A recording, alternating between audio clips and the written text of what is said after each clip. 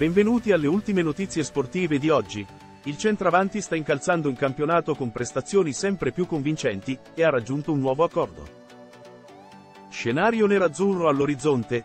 La passata stagione non è stata delle più fruttuose dal punto di vista dei risultati personali e di squadra tra le file della Juventus, ma quel che ha dimostrato finora in campionato ha contribuito ad una totale rivalutazione delle sue qualità come vice Vlaovic.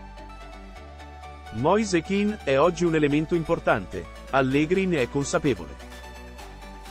Il 22enne azzurro ha infatti messo a segno una serie di reti importantissime, che hanno segnato il momento di ripresa del sodalizio bianconero dopo l'inizio titubante nelle prime battute autunnali.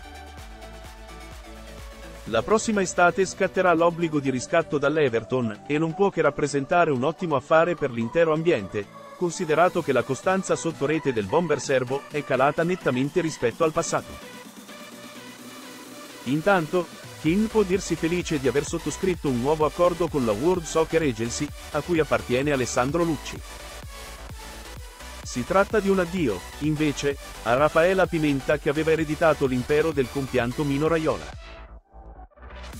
Diamo il nostro migliore benvenuto nella famiglia della World Soccer Agency a Moise Keane, attaccante classe 2000 della nazionale italiana e della Juventus, si legge nel comunicato ufficiale. Calciomercato. Keane idea Inter a giugno. Proprio grazie a Lucci, gestore degli affari di Alessandro Bastoni, Keane potrebbe essere proposto all'Inter al fine di raggiungere obiettivi di interesse comune. Va infatti ricordato che la dirigenza capeggiata da Marotta e Ausilio conserva ottimi rapporti lavorativi con il superagente. Da un lato, infatti, il centravanti azzurro ha voglia di mettersi ancor più in mostra senza essere l'ombra di qualcun altro come già accaduto sia all'Everton che alla Juventus.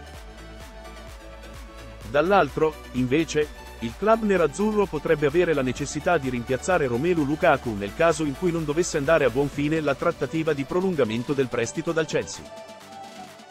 Ma in ogni caso, ci potrebbe essere il rischio di perdere anche Edin Dzeko nonostante il bosniaco abbia espresso tutto il suo desiderio di restare in nerazzurro.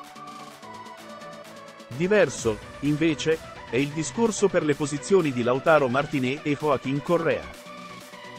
I due argentini hanno caratteristiche di gioco nettamente diverse da Keane e dunque non potrebbero essere presi in considerazione in un'eventuale analisi di mercato. Le volontà della dirigenza nerazzurra sembrerebbero essere comunque lontane dal trattare un profilo simile la prossima estate.